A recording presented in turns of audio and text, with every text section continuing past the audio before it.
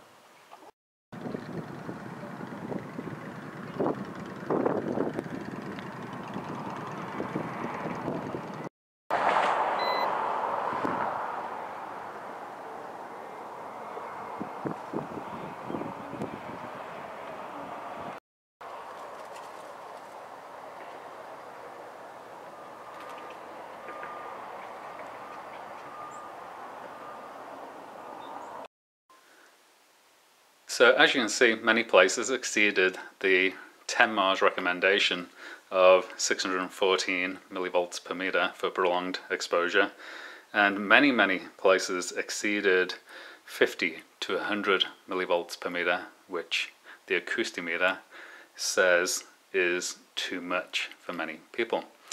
So if you want to find out more about this subject, you'll find it in the book Electrical Forensics. I hope you enjoyed the video and I wish you the very best of health. Thank you.